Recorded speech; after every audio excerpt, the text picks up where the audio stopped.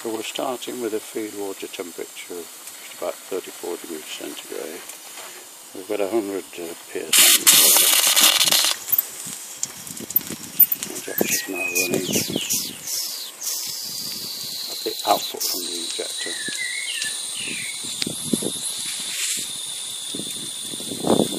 This is now down to 60. There's no fire in the boiler so allowing the pressure to drop. Push down to 50.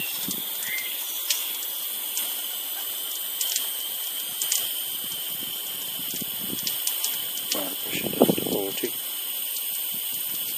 Feeding satisfactorily. Fire pressure now down to 30.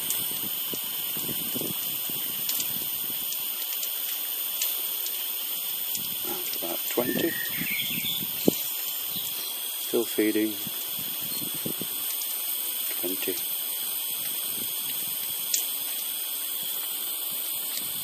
Twenty psi now. Still feeding.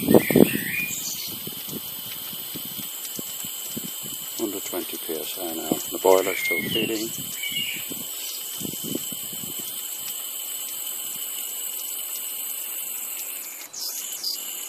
At about ten psi now. Starting to drip from the overflow. Starting to drip from the overflow. I know it's failed.